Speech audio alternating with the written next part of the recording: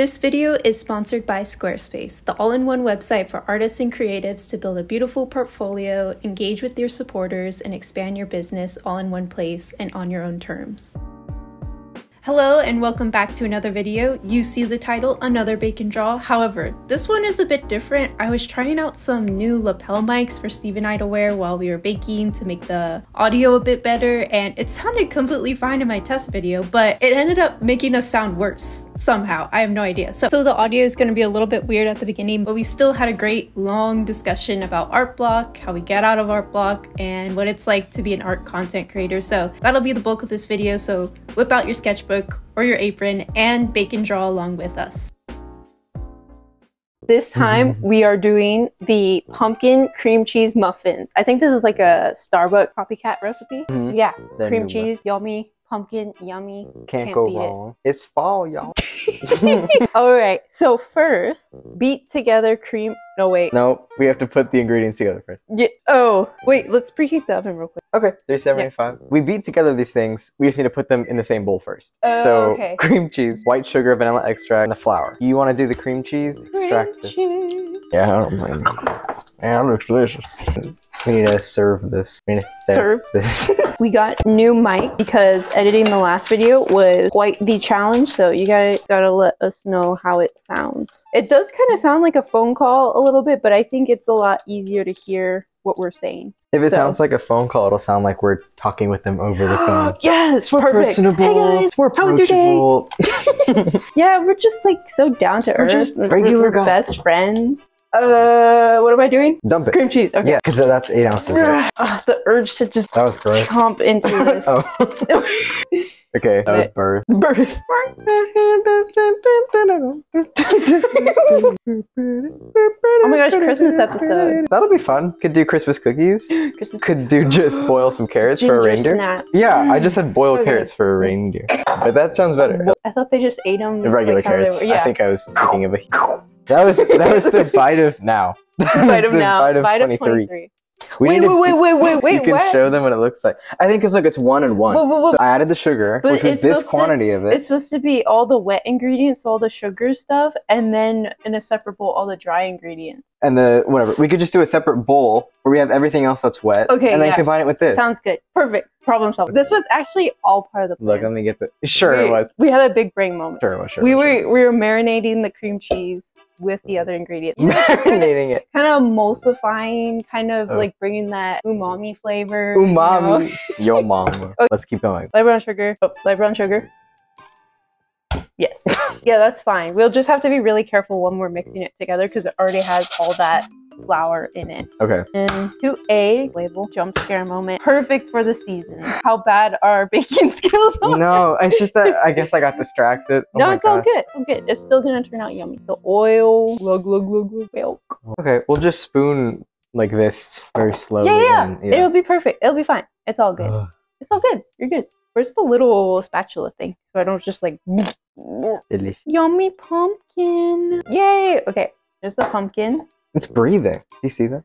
Oh my god, it is pretty. Bubbles. It does look kind of gross at alive. first, but it'll look good. Perfect for a Halloween episode. Yes, we're keeping it spooky around here. Mm, yummy. Oh, that looks gross. Why does that look like that? Because the It's oil. the it's not oil, it's the combining. oil. Oh my gosh. Oh, we found oil. Okay. Yeah, we did. We struck oil. You- Who is gonna buy this? What else is part of that?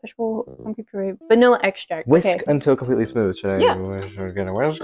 Right there. I'm reading Um, extremely yeah. carefully now. It's difficult because they It was- have you. Ew. This is making the filling first, and then Why would- all the yeah. stuff. Okay. Yeah, yeah. It's it's confusing. All right, what was it? A teaspoon. Oh, smells so good. It does smell good. It just looks kind of. okay. Smell. Yeah, and then we just whisk that together. Nice. Yeah, this looks a lot more incorporated now. That looks good. Okay, Okay. so we have all the wet stuff, and then in the other bowl, Yeah. we can just add in the dry. Yeah, this is all the dry. And then we can just slowly incorporate this into that. It'll be fine. We can use a spatula. I feel like a spatula would be, be will be best. Some more. Yeah, go for it. Yeah, our methods are a bit unorthodox, but I think they're pretty uh, groundbreaking Still in, gonna in the taste baking. good. Yeah, yeah, it's gonna taste yeah. awesome. Ugh. It's just I, I think I, I just had like a the bear moment. It was like I just avoided the chef. no, no. no. It's all good. We're co-chef good. anyways. There's no superiority. animosity in the kitchen. No, exactly. just good times. You're keeping it spooky though. Yeah. Gotta keep y'all on your toes.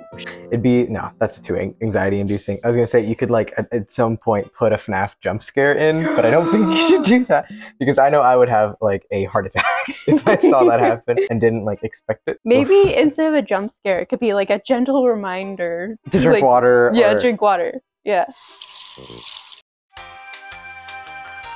It's looking good. I almost Yeah. feel like it's gonna be like um a a cookie batter. Like the way it's getting so thick, horrible. You know when we're pouring Yeah. it into the cupcake thing. I think it'll get liquidy. It'll just be very lumpy. love some good lumps. Yeah, see, Yeah, it's looks getting good. like Yeah, liquidy. Yeah, it's all good. It's a perfect Trust batter. the process. Yes, indeed, just like art. Mm-hmm. okay. Trust the process. Who knows how it's gonna turn out? But it's gonna turn out good because you made it. Oh. Because you made. it. you should be a, a mentor, a teacher. It. Mm, that looks good. yeah, it's looking perfect. Cooking mama. Wonderful! Pumpkin. Oh, the recipe says pumpkin. there's pumpkins in Minecraft, right? yeah, there are. That's awesome. That's awesome. that is awesome. Thanks, thanks for that update. I love it. And it happened like ten years ago. or something. Pumpkin. Yeah, a long time ago. Yeah.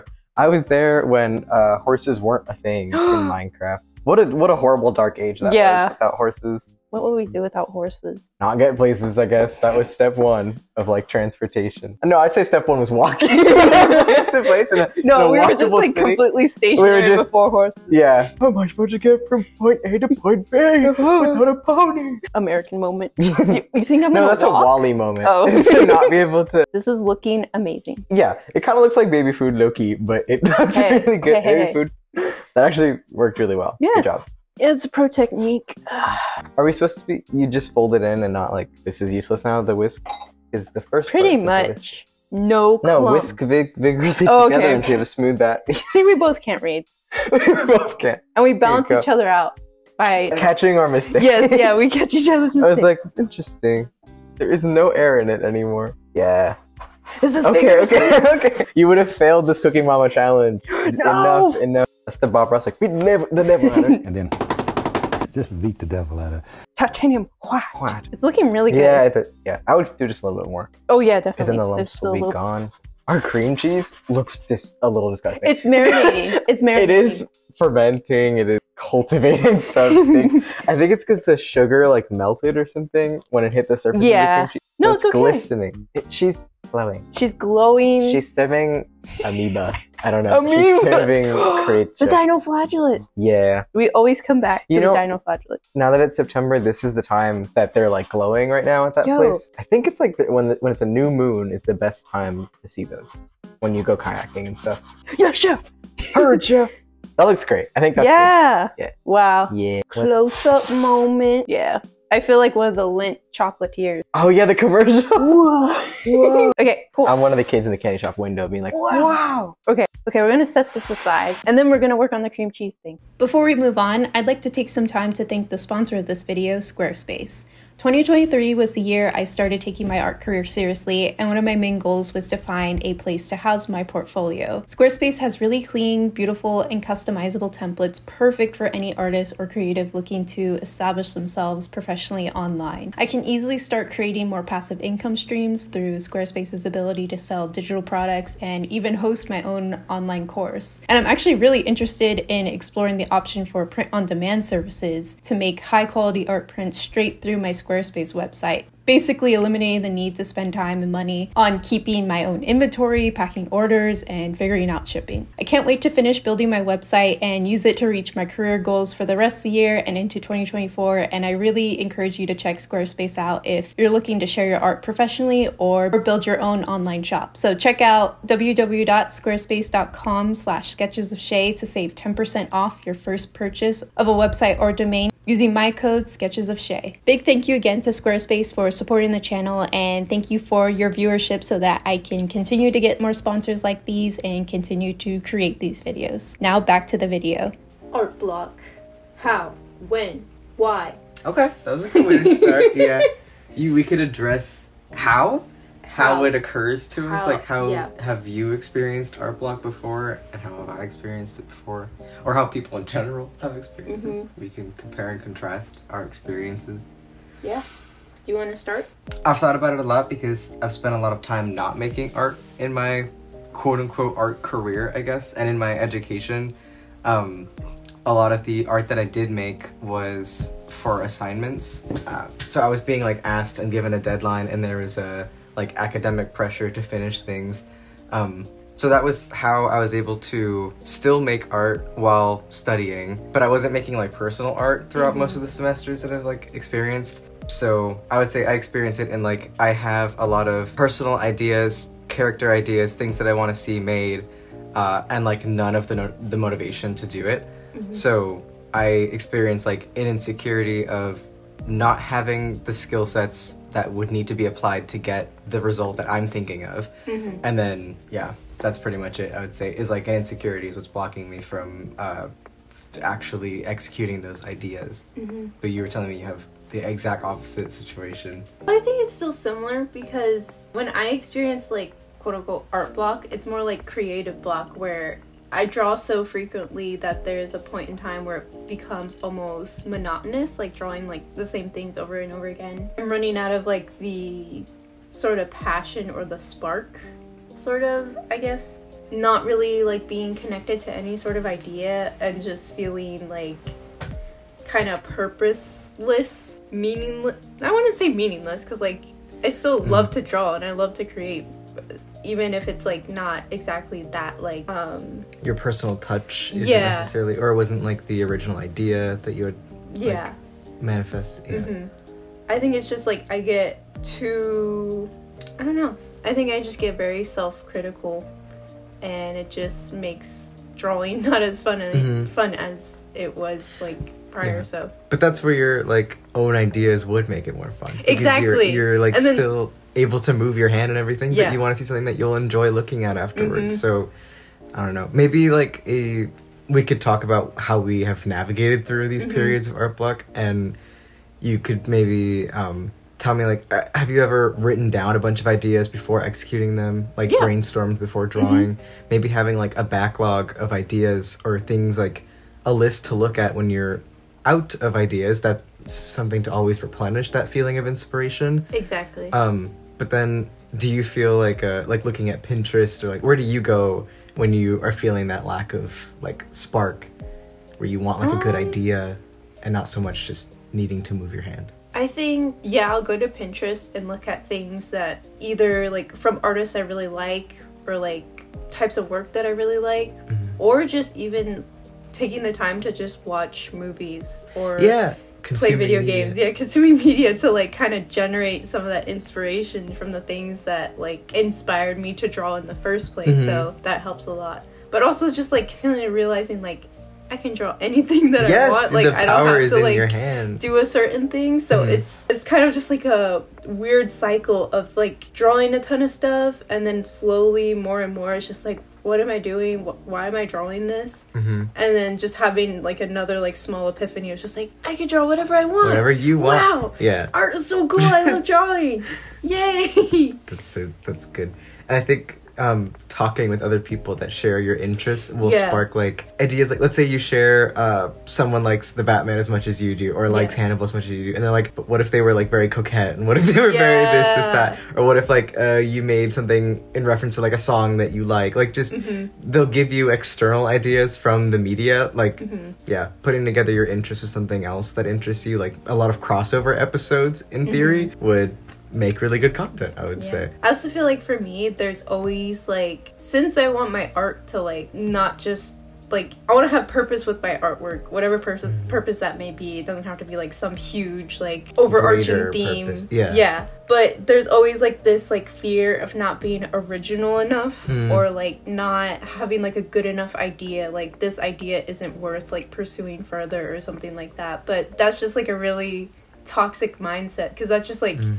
Keeps you from like it stops you from pursuing any idea no matter like how like different or like i don't know Mhm. small it could be So I think that's also a main um, kind of perpetrator And in art insecurity, block. yeah. And, yeah. Basically, goes back to insecurity. Mhm. So, but like artists steal from each other all the time. Yeah. Like that's such a like that's part of like art culture. is just like referencing being back inspired by a way someone yeah. did something. I don't think that makes what you make unoriginal whatsoever. If you were to take inspiration or like learn a technique from someone else, you wouldn't Mm-hmm. say that like a student of an art teacher was appropriating or like taking the idea Yeah. from their teacher that they've Mhm. just been taught. Like I, I don't see that as um like theft Yeah. basically um, by being inspired by another artist not Mm-hmm. at all and i think that what you were saying about worrying about your own uh, works being considered unoriginal do you mean that in terms of what it looks like or what the concept was I think mainly the concept. Mhm. I'm not too worried about like like style or Mhm, anything mhm. like that. Just concept. Yeah. You have such good ideas. I don't see any of that as unoriginal. And in, in fact i think that when something resonates with a lot of people that's not necessarily an indicator that it's unoriginal i would say it's like oh this is a banger we all thought Yeah. of and that's like a hit like that's a Mhm. good thing i don't see that as like a, oh i can't have one unoriginal th- or one original thought Exactly. it's just like no this is a like sometimes we have communal experiences and sometimes we all Mm-hmm. feel the same way about something but the way that you did it is still unique from the way anyone else would have done it everyone's Exactly. going to represent things differently in their artwork But like you're saying, it's just an insecurity. Yeah, Like I I, mean, it's all artists are gonna be like their worst critic and be I know- like, "Man, my art sucks. I'm not good." Ah. Yeah, but then that's where, and like I'm, I feel like the one of the biggest perpetrators of that because I'll feel so insecure about like, oh, I'm not studying as hard as other people are. I know that as like an objective. I'm like, I know that I'm not putting in the same amount of hours or like external studies beyond my university education into artwork and if i did maybe i would feel more accomplished and like feel like i've gone further in like studying art i guess but I like I, I don't know how to remedy that. I'm like I need to do I need to just put in the work to remedy Yeah. that. I guess I need to be like okay I do have an hour I do have two hours to spend doing like figure drawing studies to explore this idea that I had. It's a very hard hurdle to jump though, Yeah. regardless because I will struggle with like not feeling motivated to create art because I'm stunted by that insecurity of what it may look like if it's mm-hmm. not immediately something that I'm satisfied with. Mm-hmm. So it's just it's always going to be difficult to Yeah. navigate. Like I will continue to encounter that roadblock and then continue to remedy it by saying like, no, but I studied for like an hour the other day and I can do it in the future. So as long as you're trying, I guess, to Mm-hmm. like you know weasel your way out of an art block, I'd say you're doing the best that you can. No, yeah. Like it's going to be difficult.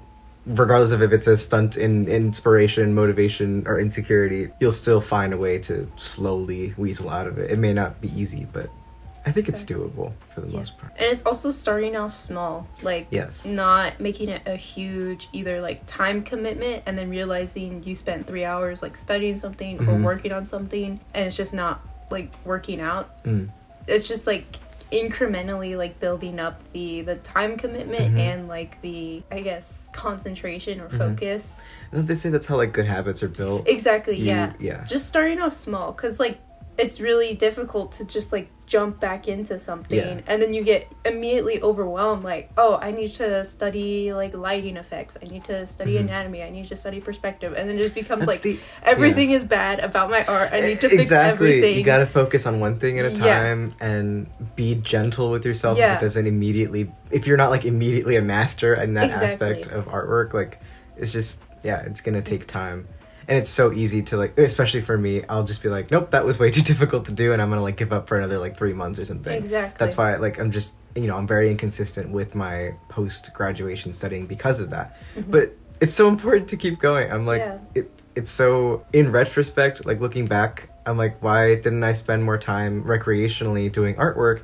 But it's also because I was being so stressed out by that system Mhm. academically to be like, oh, I have a deadline. This is due like this week. Yep. And I'm really bad with time management and that, and just like kind of pushing something out at the Mhm. last minute. That relationship that I then developed with making art has tainted my own personal relationship with it, like outside of an academic setting. So I guess part of my journey is like unlearning that, being like, no, this is ac- accessible to me whenever, and this, you know, is something I can pursue for the rest of my life or none of my life. Like, it's okay. It's Yeah. just something that I can use as a tool to express myself, and I don't have to beat myself up over like not being at the same level as other artists my age or younger than me or further along in their journey than me, like you know, older. Comparison is another one of like the worst Yeah. enemies in this Mm. uh, Yeah. plight against art block. Yeah. Especially if you're someone who like consumes a lot of like social media. Yes. Oh my gosh, all yes. the time. It's like you really want to see like these artists their work and stuff because you like you Mhm. love their work, but then it becomes like a toxic thing where you're just like, oh, they may be like the same age as me or maybe even younger, Mhm. and like their work is like years ahead Mhm. or just like in skill or in like concept, whatever. It's it could be really detrimental to trying to practice because then it's just like what's the point? All these other artists are already ahead in their game. They're already getting these opportunities or like they're making the work they really want to make while i'm here sitting still trying to figure out how to draw a head in perspective or something Mhm. like that. And it's just like you, you can't think about it like that. You have to like it's so difficult but it's just everyone starts at different places and learn at different speeds Mhm. and i Yeah. don't know you deserve to have your own like voice Yes. and all of that No and, one's like, gonna do it like you can. exactly yeah And persistence is key. I would yeah say. persistence being persistent despite yeah being consistent in your Mhm. uh your own craft. This one we might have to use the electric Okay. mixer for. So But I we'll feel do like we could just do it with our hands. One less We thing got to it. clean. Okay, I don't know. Try let's making gauge it. Boom. Boom. Oh, okay. Block of cream cheese. That is used. Delicious. Chica moment. Oh shoot. Okay, we're good. I've done this Snowing. twice. Brr. Oh As yeah. it's like 90 degrees outside. I was about to say it's yep It's so very hot. chilly outside. Yeah, it feels disgusting outside. yeah. Okay. Awesome. Takes a gentle hand to make a fluffy filling. are there any like kind of like more practical tips to Right, getting out of art just- blocks like not like conceptual like you need to change your mindset You you, need to need to have like a- step out of the box Yeah. and create a um, new box and then live in there live in there. Yeah, what's the rent in that box? I hope it's low. Well, okay, what you said with starting small, right? Starting Like small. what that looks like practically would be spending small amounts of time and then Mhm. also narrowing the scope of your study if that's what you're intending to do in that period of time. But then you could move even further back and be like, don't do a study right now, just move your hand on a paper. Yep. Like you could just completely like primordialize it and be Mhm. like, dude, just like do anything. Like start at the, you know, getting ink on a page or getting, you know, graphite on a page. Mhm. Um, yeah, folding the page, just thinking outside of the box, thinking creatively. And then moving on to like, oh well, I love this character. Think within your own comfort zone. I would say is also a great way to start. Like if you have been wanting to make fan art of something, if you are watching like a show, um, if you live in an area that has like nice foliage or something, just sort of taking around, taking things from around you in your current environment and putting it down on a page. Mhm. Those are great ways to just you know to start within convenience to you, um, kind of drawing what you see.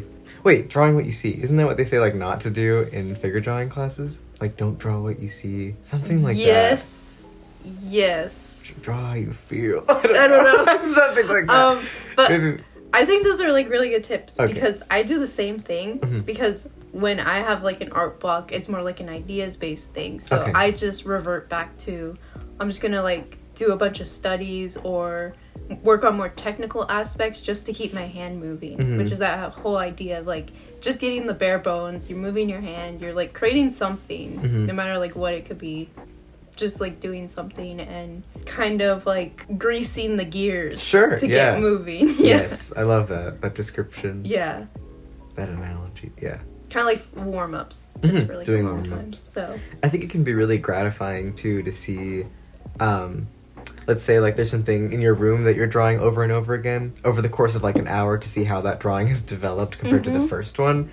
That's like those are good boosts of motivation to continue after like starting a warm up and Mm-hmm. starting a study. I don't know. I feel like that fills my need to feel like I've improved or like a study has worked, quote Yeah. unquote worked, is to like be able to compare with an earlier result of the same subject matter. mm, So maybe that could help someone else as well to do studies of like the same object or person or you know environment to have like a, a clear reference of development of your skills Yeah. or I think sometimes what could help with that, it definitely helps with me. I tend to, when I'm doing these studies or those- these warm ups, I get too fixated Mhm. on one thing. I end up Mm. spending like an hour or two working Oh. on one thing that I just like hate and I like keep on trying Ah, to fix yeah. it. So I think I try to like set a timer for a couple minutes and just try and like get things moving Mhm. and not be so precious about each drawing Right. and just kind of use it like these are just attempts they're not failures they're not successes but they're just attempts Yes. and you just like keep on doing them until like you get to like longer periods of time and you become less like i guess like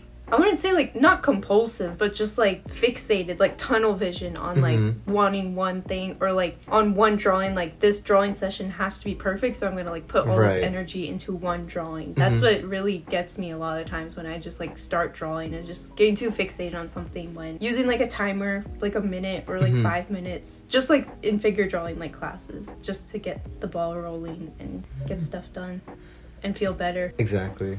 I like what you mentioned about um like a drawing session being almost like precious, I think is what you said, where that made me think that the materials you're using could also affect like how Yeah. yeah Very like true. you know how willing you are to affect that material. So I think something contributing to you know shortening your time and picking a, like a subject matter would also be picking the right like paper Yeah. or the right like medium to Mm-hmm. then create artwork with that you didn't feel like you were wasting materials Mm-hmm. um, if things were not like that quote unquote perfect you know image in your mind or something Mm-hmm. to be willing to um, kind of you know mess up a paper or Yep. yeah not considering it a mess up is also like a, a reframing thing that you would do but you know without getting into like the psychological just using like cheap materials is a great way to you know still be exercising your hand Mm-hmm. and exercising your like creative eye uh, without it costing anything really Mm-hmm. so definitely a good way to, to continue to motivate yourself forward Mm-hmm. push yourself forward That's why I buy like cheap sketchbooks. love that, yeah i love like- that you that you say that in your videos and, and your tours and stuff that like Mhm. these are this is what you value in the things that you draw on and draw with so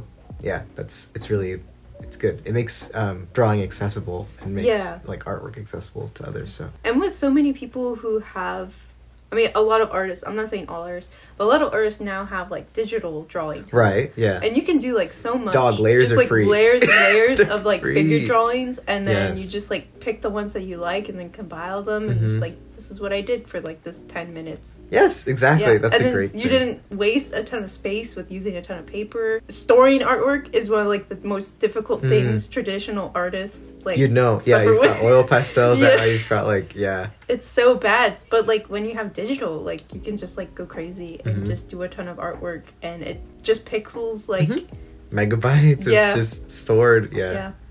I think eventually you would run out of that storage Oh, yeah, as yeah, well, yeah. but probably a lot like less uh not as fast as you would run on a paper in real Yeah. like, you know, and it paper. doesn't feel as like corporeal. finite yeah yeah like tan I, I don't know like Mhm. i think another kind of this could sort of work i could i think it just depends on what type of person you are but i find that if i just like walk outside Mhm. do something outside and just like be mindful of like Hmm. the environment and like being outside and being around people that can like jog a lot of creativity and kind of like get you out of your own head of. Sure. being like overly self-critical or feeling very like like what am i doing Mhm. what why am i making this art sort of Hmm. deal because i think a lot of us uh, are inside a lot of the time Mm-hmm. especially in this contemporary age so going outside helps a lot touching You just told grass. everyone to touch grass. Yeah. Yeah. I was about to say, so what you mean is touch grass, go Yeah. outside.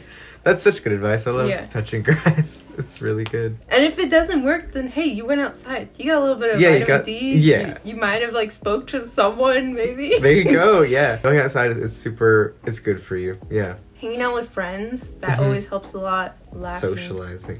I know just getting what'd you say? laughing laughing, loving, living. yes. Yes. Absolutely. I think that's really good. I love um okay, I love my room, obviously. Like I, I love the ambiance in it and I this is a space that, you know, is safe for me. But I love like, you know, during the day going out into the living room and stuff and being able to like talk with my roommates and stuff and being Mm-hmm. able to talk with you. That's like social interactions that I thrive off Yeah. of. I think I need that. I love my alone time as well, but I'm a very like I'll feel enriched by the people Yeah. around me, and I I'd prefer that. I I would want to continue feeling like oh these are people's lives around me that I can you know affect and they affect mine, and that's Mhm. a good thing. So I don't know. I think in terms of art inspiration, having that sense of like I don't know other people are alive is a grander like awareness to Yeah. have, but it's it's a good one. So. I think that can broaden your horizons with creating artwork and making artwork that includes a dialogue in it as well is enriched by having those dialogues Yeah, in person. exactly. So the best inspiration is like when something uh, funny happens in real life, or you're like, Mhm. oh, that that just happened in the kitchen. Let me draw that, or like whatever. Like putting your own OCs in that situation. Like that's I like those kind of stories. So And then it makes like viewers or like consumers of whatever you're making, it feels more tangible to them because like Right. this is This like is live I feel this person's heart in this Yes. artwork or something ah, like that. that's sweet. Feel your heart in them. That's really cute. I like that. It's like an actual like physical heart. It's like the reanimator thing. yeah. Yeah. I think we already touched on a lot of like what we do. When we were like describing Mm-hmm. our issues, we talked about how we like got around a lot of that stuff. But like building up that consistency can come from doing like an art challenge. Mm-hmm. So with October, I think this video will be going out in October, like mid October. So a lot of people are doing art challenges. And that could be like a really great way to build a consistent habit or to Mhm. build sort of like a confidence in creating artwork every day. Mm-hmm. But I do think there's like a double edged sword of like doing a daily challenge, and that can often lead to burning out and then being True. back into an art block Ugh. burnout state. Whoa, so woe is me. I, I can't ever get out of it. Yeah. yeah, it's it's difficult. But Mm-hmm. I just want to. I kept on meaning to mention this, but I do feel like with me personally, and I feel like with any skill that you're learning or any habit, Mm-hmm. the more consistently that you build up that skill and prove to yourself that you do it, then it'll be more confidence down the line when you're dealing with bigger projects that it's just like I will get this done Mm. and therefore it'll be like a cyclical thing where that confidence builds on Yeah. itself and you become less hesitant with pursuing projects or whatever you want to Mhm. make. Like when I first started acrylic painting, I was like really wary about like actually like painting on canvas. That was Mhm. like the scariest thing or I didn't feel like it would really be for me, but like having so many years built up of doing paintings on canvas and just like carrying out like full fully fleshed out ideas, it kind of builds that confidence and now I'm Mhm. just like oh yeah, I could like work on a painting. Like I Nice, I'm yeah. like planning a painting right now. It's just like, oh yeah, I will get that done. Mm-hmm. And it's also realizing maybe it'll take longer, maybe it'll take shorter, but it's just knowing that I will get that done. Mhm. It's just like really comforting because you've had those past experiences of getting it done. Mm, I like that accumulation of like experience because you're able to have a better scope of time frames. Exactly. that's like the right way to word it. Like Mhm. you can now, even as like a person who's being commissioned or something, be like, oh, this is my like you can expect to receive this within this allotted time. Yeah. And then that helps you in terms of like content creation as well to be like, oh, I can make a video in this certain amount of time. I can make a painting in this time. I can, you know, you have different Yeah. Expectations of time spent on a project Mhm. because you've done them. You've done them before and you've done them many a time each. Mhm. So that must be comforting for you to like, you know, be able to plan as accurately as possible. Mhm. Um, yeah. It's not even just like an accuracy thing, like that's a Mhm. benefit of it, but it's also just like committing time for a large, larger Mm. project that will span weeks. It's comforting knowing that I've done that before and I can do it again. Okay. So it's like yes, knowing It's like not when intimidating to start if Yeah. you know you can yeah, finish it. it's just Yeah. like I've been able to manage a project like this before. I can do Mhm. it again. I think that's really um, important to whatever you're working on, Mm-hmm. art wise or like creative wise. Just knowing you have the ability Mhm. to be able to plan out a project and manage it throughout, and also keep the the fire going or like the motivation going to like finish it and Mhm. see it out. That's really important Nice. and yeah once you like build build out that confidence beforehand and you've done it like a couple times then it just builds on itself and Mhm. now you can just like hey i'm gonna do this project and i'm just gonna spend this month planning it out and it'll it'll it will be, get done. yeah Yeah, by your own accord. yeah Uh, would you say that you're feeling that kind of way about like bigger canvas paintings or something like that? Because I'm thinking about what what projects are you referring to? Like actually working on a ca- like a large physical canvas or i think i'm both talking about like doing like fully finished like paintings either digital or traditional right? but that's just like one occurrence like building up that like confidence to commit a physical canvas that i bought with like that was not cheap Right. to create a piece and like Mhm. i know that i can do that again and even with doing the most recent acrylic painting which is the only painting i made this year that's Mhm. been on canvas it was still i was still able to like I planned it all out and I knew that it would take like a couple weeks, but I felt secure in knowing that I could finish it or and I would like Mm-hmm. I will finish it just through like going through the same process and not I don't know getting cold feet in Right. whatever I was doing. So Are you thinking of since you just mentioned that this is the one canvas painting you've done this year? Yeah. Next year, are you thinking of doing more of that, like committing more time to actual physical canvas painting?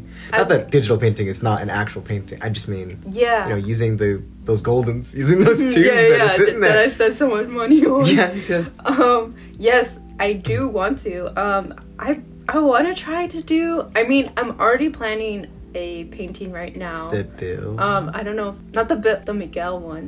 oh, that's okay. that's a canvas one, but it's oil. but that's yeah, Um, yeah. And that'll be this video is coming out. I have that one going on, which I'm just planning out in Procreate right Mhm. now. But the I really want to do a bill painting that's Right. like 24 by 48. Is that the same size as the Science Guys or No, What's uh, that then? Saul is 24 by 36. Ah, okay. So this one's like double the width, Right. if that makes sense. Yeah, so it's like a long, big painting, Mhm. and I really want to work on it, but it's just once it hits October, we were talking about this. Like once it hits October, time just moves Mm-hmm. Merry by so quickly. yeah, it's basically already Christmas right now. Yes. Merry Christmas, guys. Um, but it's just I just want to be realistic because I have like all the shop stuff and all the YouTube Right. stuff, which I'm very happy to be working on. Mhm. I don't want to like complain about it, like, oh, this is so hard. But it's just like I want to make sure I'm like creating quality things Mhm. to offer to people and kind of balance that. And I don't want the art to suffer Mhm. just because I want to be able to say, oh, I finished another painting. Right. So it's just a balance of quality, but also like understanding. I don't have to work on something like right now. I can Mhm. still keep that idea and still work on it later. So Mm. That kind of goes back to what I was saying, having a list, a backlog Exactly. of ideas, just making Yep. sure that you eventually get around Mhm. to them. and that's with the Miguel painting that I'm Mhm. working on because I right, did that. Spider Verse, like Yeah. paint, yeah, that was colors that was back in July. I think I did the Mhm. sketchbook spread, and now it's October, and I'm like finally like ideating and working on that piece. So it just takes time. You're working on a lot of different things. Yeah, Yeah. it makes sense that there's certain things that can't be juggled, like thrown Yeah. into the, you know, the ring. So Mhm. yeah, you get to them eventually. I think that the fact that you even mentioned it in July and then now are continuing it is a great sense of like it's it's giving you you've committed to what you said. So that's that's a good thing. Yeah, and I think that also ties in back to like building that confidence. It's that Mhm. commitment to yourself and like just following up on what you say can be really like pleasing to your brain or Mhm. something. And I think it's important to show like online to people that you don't have to have an idea and immediately execute on it Right. and like get it done. Sometimes it's nice to just be able to like let it like stew and just like Mm-hmm.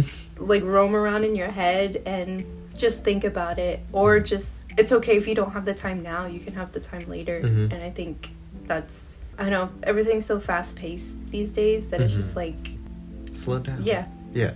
I liked what you said about like stewing, letting Yeah. it stew because along the way you may accumulate like, oh, I actually want like this posing, this color palette, this Mhm. like these different techniques and applications for that idea that can then enrich it and enrich it further than what the original concept was. So being patient with yourself is probably a great way to like, you know, let an idea develop itself to some Mhm. extent. Let it be developed by the things around you, by your environment, by things that you're being exposed to, like different media. I just love that. I love that like you're being a sponge uh, in Mhm. the world and you're, you know, applying those ideas to a concept that you had originally. So, i think that comes from just caring about what you make a lot Mhm. um i mean like not giving everything such like a serious and like meaningful weight like this small doodle like encapsulates my whole career as an artist it's more just like really enjoying to like create and make art and really like wanting to Mhm. produce things of some sort of value to like anyone who finds value in Right. it and just all in all just being like passionate Mhm. and you could be more passionate at sometimes than other times and that's okay that's just like how Right. We exist we're not always going to have like the constant amount of energy we put Mm-hmm. towards things like all the time but i just think it's you know I think yeah, no, I get what you're saying. I think that we won't always have uh, an intense emotional dedication Mhm. either to our craft. Like there's certain days where I'm like, oh yeah, it'd be really cool uh, to like do this specific contour drawing or something, but I'm not necessarily emotionally attached to it at, in every instance. And in other instances, I'm like, oh yeah, I really like how this got represented or warped by the way that I like looked at it and didn't look at the page and this, this, that. So of course, there's days where I'm like, eh, that's definitely a drawing on a page, and then other days where I'm like, actually.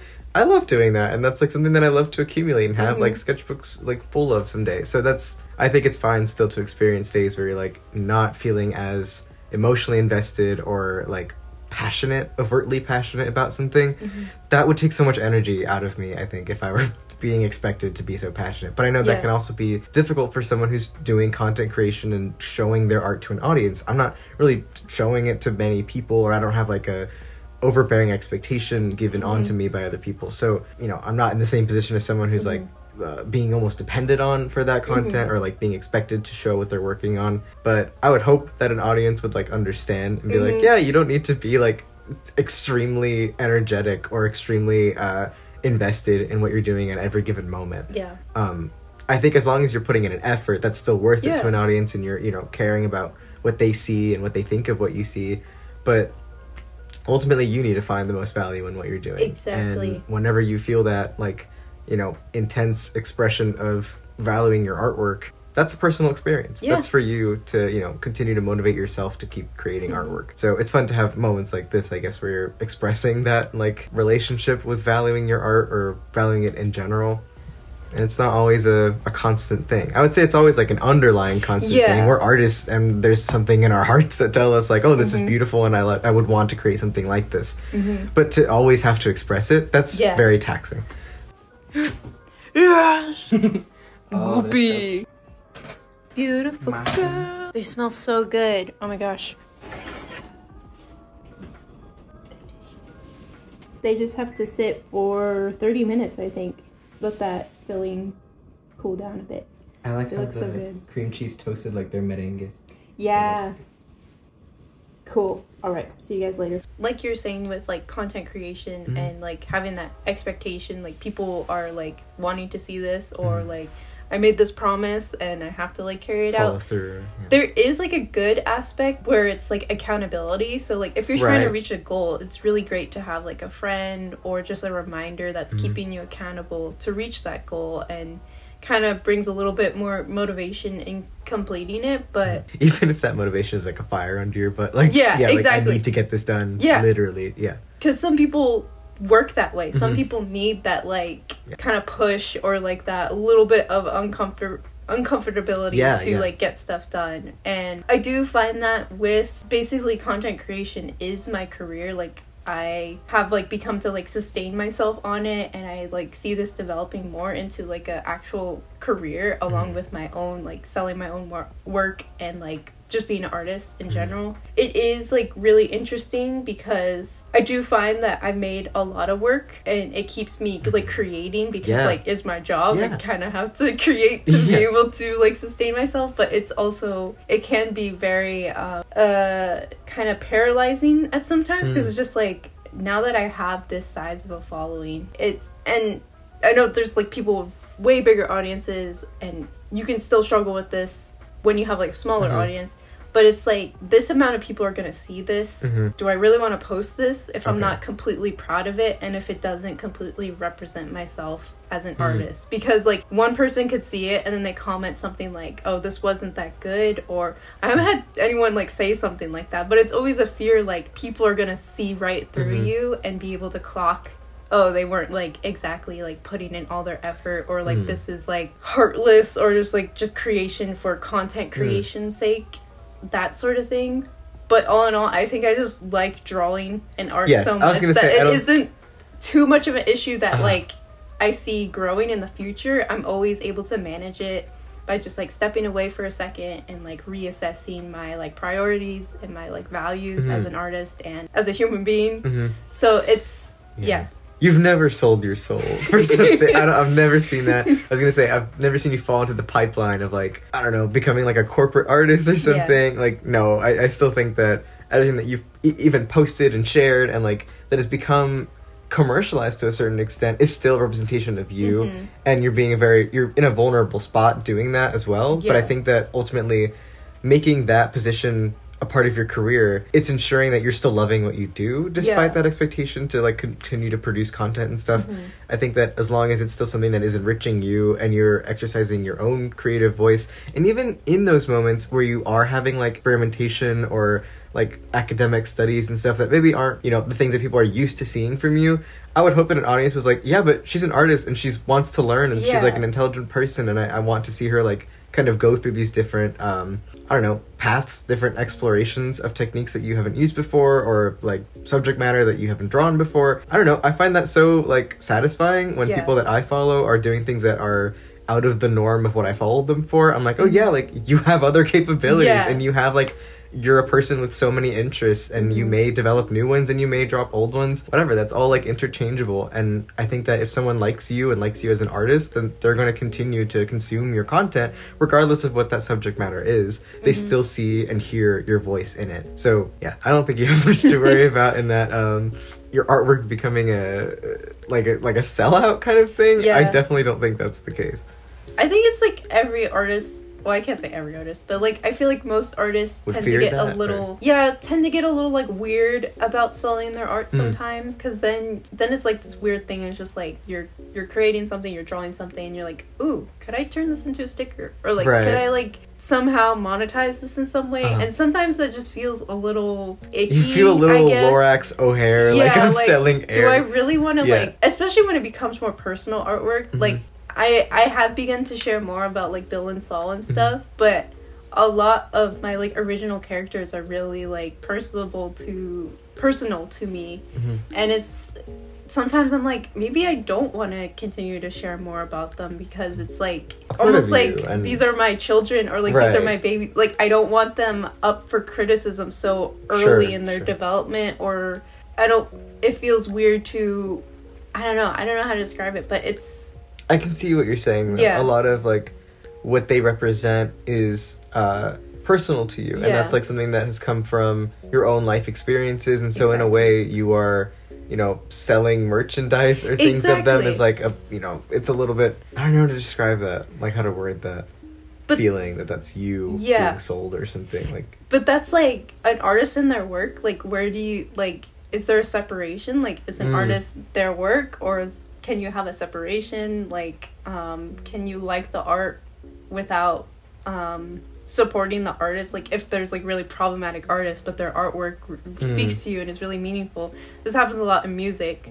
Sure, Um, yeah, it's like how should you separate that? Can you separate that? Uh you the artist yourself can you like depersonalize yourself from your art so you can like be able to um share it with it's that's a complex. it's really topic. crazy Yeah. yeah. it's really it's interesting to think about because sometimes bill and saul could be just these two goofy cowboy characters okay. that I like to draw and people enjoy seeing them and it's fun Mm-hmm. but i also i know that they came from a point in my life that was very vulnerable and is very like needing like a sort of like safe space or like Mhm. intimacy and a lot of work came from that using them as like a conduit to like share that message that I was feeling.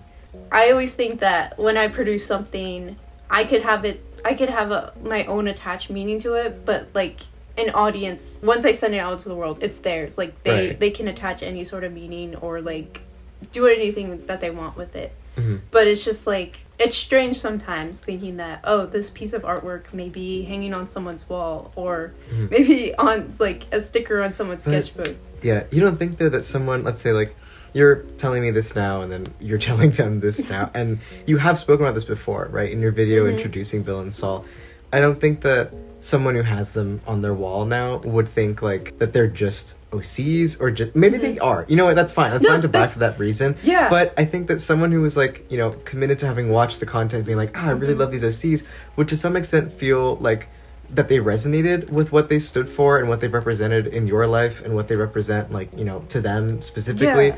And I, I don't think that you giving, like what you said, like giving them to your audience is you losing them either. Exactly, Like if they still mean a lot to you, that's the most important thing. exactly. And I don't think that you, uh, selling things that you know have them on it is, Is uh, by any means making giving them control Yeah, over yeah. your characters so yeah or over your like experiences Yeah. they uh you know what other people experience and how they you know attach themselves to those characters should not affect how you've attached yourself to them. Mm-hmm. So yeah, it, I don't think that they um, that they're being given away No. necessarily.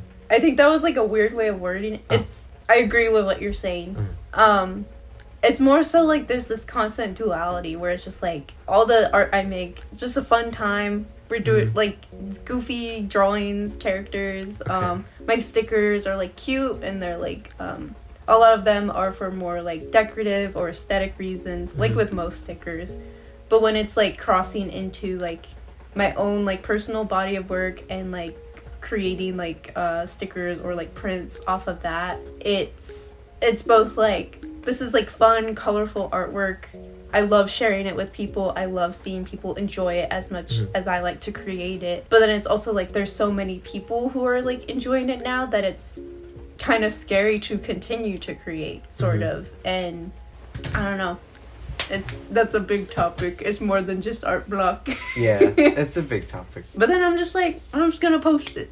I'm just gonna You, post to it. some extent, I think a part of you is like getting used to it. You're in a Yeah. period where you've never had this type of following before, Yeah. Never had like this many eyes on you before, kind of thing. I know that could be really scary. Not know from like an empathetic type of way. I've never experienced that, but I could imagine very easily Yeah. how that's intimidating, the numbers and everything like that.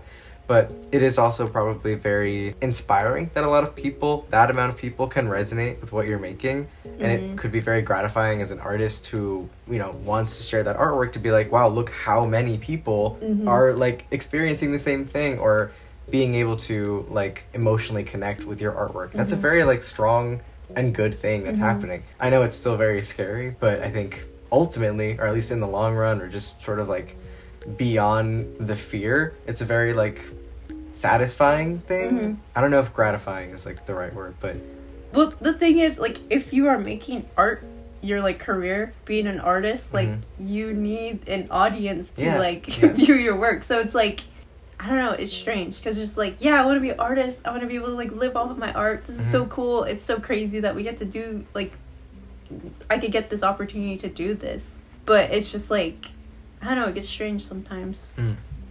But I feel like a lot of people who have who post their work online go through the same stuff. Mm. You know, it's not like like so detrimental that I like don't feel like posting anymore. Mhm. It's just like knowing that you're creating for an audience is different than creating for yourself and just Mhm. putting it out there. absolutely. Yeah. TLDR. TLDR, yeah. Let's say a little summary like that. yeah, It's good. but I'm still gonna do it. I think you're kind of like right now in a you know how like when you buy a new fish as a pet or something and you have to like acclimate them first before Yeah. it being like thrown into the water. Yeah. Mm-hmm. I think you're in that period of acclimation where getting used to what having an audience is like, what interaction with them is like, what they enjoy seeing, what they expect Mhm. from you, what you feel like creating at all, Yeah. like on your own accord. Um, I think having this period of acclimation is okay, and it's okay to be fearful of that number, Mhm. but then to help like with you know navigating out of that fear, kind of thinking in retrospect like oh like that's a lot of people who are very similar to me or Mhm. that you know want good things for me. Like I think very positive feelings can come from numbers like that. Mhm. And instead of seeing large numbers as scary, seeing them as like great opportunities is another. Not like merchandise, not like oh these Yeah. are like you know people who are going to be sustaining me, people who are like just I'm able to connect with people in the world that are very similar to me. That's a very like you know helps you not feel alone type Mhm. of you know kind of feeling. Yeah. So I don't know. I think there's positive things that come with that. Plenty of positive things. I think just marketing yourself is just weird as well. it sounds weird. Yeah. It sounds like there's a lot of Mhm. nuance in being able to feel very gratified by large numbers and Mhm. feeling very crushed by them. exactly. So it's like, and it's not a personal thing. Like you're Mhm. not like feeling crushed by like a person. Mhm. It's just like I'm being crushed by the weight of a lot of people. Mhm. Like it's a different. It's not like a one-on-one type of experience that you have an issue with someone. It's like, oh, I'm kind of still not quite used to having a thousand eyes on me, like Yeah. that kind of thing. Yeah, and I don't think that it would be fair for people. It wouldn't be fair for people to uh, expect like a quick acclamation, Yeah. like to expect you to just be okay with that right away. Mhm. Um, I don't think that's an entirely fair assumption Mhm. to make, especially uh, if you haven't experienced that yourself. So I think Mhm. some of the people that you can, you personally can resonate the most with would be people who have also made content before and Mhm. like accumulated large audiences and stuff. Um, and maybe are also in that period of acclamation where they're Yeah. still, you know, growing and Mhm. learning. So I do get some comments sometimes where it's like people wanting to start their own Mhm. like channels and stuff. I think that's great because it's just like it's so cool to like start making like video content for like other artists and just like contribute to like the art community. Mhm. But um something like about this like this whole thing about acclimating a bunch of like larger creators, not just in like the art community. They say like you want to be able to grow slowly and like over Mhm. time and not like kind of blow up Go or like viral. viral Yeah. because it's just you're gonna like one day you post and you have like 10,000 subscribers and the video goes crazy and now you have like 50,000 Mhm. and now it's just like There was no period of acclimating. yeah it's just like who what what's going on here and then you get so such stage fright Mhm. posting the next video Yeah, stage fright. Yeah. it's just like oof but yeah i just feel like cringe Strange. These things are getting stranger. you guys are very weird Very weird. Are you looking at me? I don't like that. don't look at me but it's fun and i'm very privileged to be able to do this Mhm. and make this a potential like sustainable career and i don't ever want to take for granted like people's support or Mhm. any of that so You're a very appreciative person. i think it's because i grew up so long being an audience Mm-hmm. Because YouTube has, and you could probably relate, YouTube has been such a big part of our lives growing up, as being like Gen Z kids Mhm. growing up in a more digital environment and getting so much like alternative media from YouTube. Right. That it's just like, it's kind of weird. Like, I watched content off of this platform for so long and now I'm posting on it. So it's just very much like, I still just feel like an audience member Mhm. and I'm just like posting my own videos. you are but- still one as Yeah, well. yeah, like there I are people you Yeah. watch consistently. FNAF lore videos. You are an audience member of the FNAF lore audience. Yes. Oh, you are a proud member. all that I watched. Exactly. No, yeah. You're still an audience member as well. but it's just it's strange and i think that's why i like have such high respect or i don't want to um disappoint or annoy my audience with like monetizing certain things or like selling things But they're there because they want to support Exact- you. So it's yeah. not an annoying thing to be like, hey, do this thing that you're here for. Like, Yeah. no, that's not annoying. Yeah. Or at least the way that you've done it has not been annoying. I'm sure there could be like you're not a commercial Yeah. showing up and interrupting their thing. So they're Like- following you because they want that consistent update of what you're up to and what you could offer for them. So Mhm. that's a good thing. All right, time for the cross section. What would be Which the one? victim? One of the ones that like the cream cheese is the most central. These. This one? Sure. Yeah, let's go for that one. Okay, I'm gonna undress it. Aw, it's so cute. No tiny. That does look good. now we're gonna try it You want to dink it? think it hold on wait get it in frame Dink. all right okay. Nice and moist Mm-hmm. Yeah, very, very. the cream cheese the Mhm. cream cheese is so good It tastes really similar to the snickerdoodle, just in like a cakier form. yes I guess that pumpkin puree just does something good.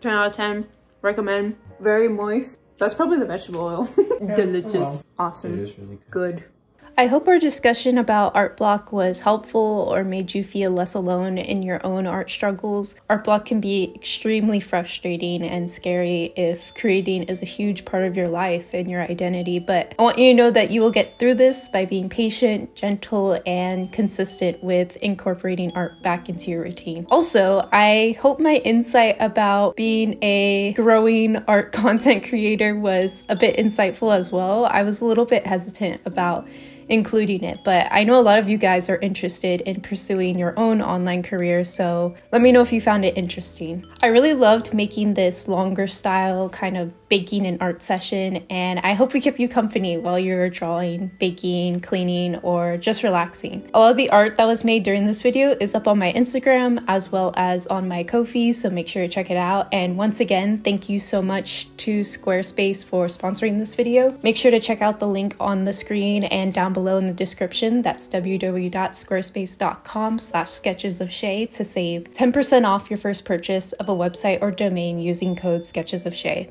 And another big thank you to Steven for joining me for this episode. I always love having him on the channel and making videos with him. And if you want to see his artwork, I'll have his Instagram link down below. He has really great work. And another big thank you to my Ko-fi members for continuing to support my channel. Your support really helps me to continue to make content like this. So, so if you want to help out the channel and gain some benefits like sneak peeks, painting and drawing Q&As, exclusive ghost cowboy stickers for the month of October, and sketchbook scans, consider supporting me over on Ko-fi. Shout out to my sticker club members, which we just reached 60 members. How the heck did that happen? Thank you guys so much. So shout out to Air, Alien Kid, Elisa R, Anna's Confused, Artist Life 03, August, Blue Swanson, Brendog, Buckley, Kaylin D, Candon Courier, Charu, Dassy, Demon Sketchnin, Emmy, Emily, Emma, Arasu Stuff, Gabriella C, Grace, Heather C, Ink Palette, Izzy,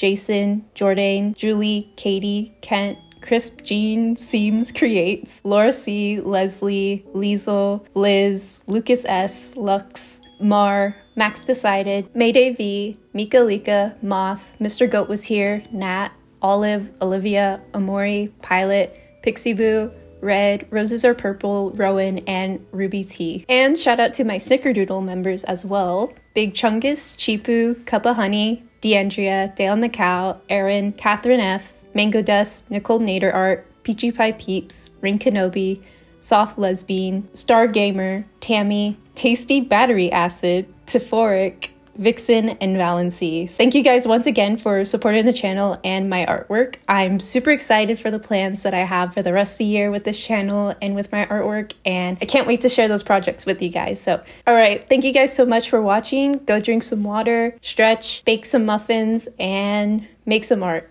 All right, bye.